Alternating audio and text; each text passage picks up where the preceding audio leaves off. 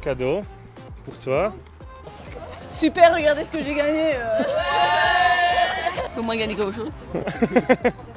Pas le trophée du joueur du mois, mais au moins euh, j'ai un trophée. C'est toujours euh, très euh, gratifiant de gagner un prix. En plus, c'était un petit challenge. Donc, euh, du premier coup, euh, quoi de mieux?